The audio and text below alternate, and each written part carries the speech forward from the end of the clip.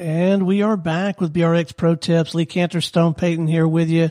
Lee, I'd like to talk today a little bit about belief systems and beliefs, but particularly uh, for today, what limiting beliefs are holding you back? Yeah, I think this goes to the heart of our um, work at Business Radio X. Some people, we're able to sell some people on kind of what this could do and they may not believe it all the way or they might be a little skeptical when they get started. And it isn't until they really see it in action where they really truly believe that what we told them was true. And i think that the sooner you can get to that point where you believe that this platform and service um, is effective then the faster that you can sell more things because then you're going to you you you change how you think about what we're doing. You're not trying to sell somebody something you're trying to help them get a result that you believe that the platform is going to deliver.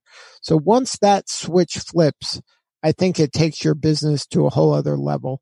And uh, this is something that, you know, for us, it's happened many, many years ago that we've seen this service work and we've seen it effectively help people create relationships with people that they thought were unattainable really elegantly, very quickly, and very effectively. We've seen it generate, you know, thousands, hundreds of thousands, even millions of dollars worth of business for people when they are kind of executing this uh, relentlessly and correctly.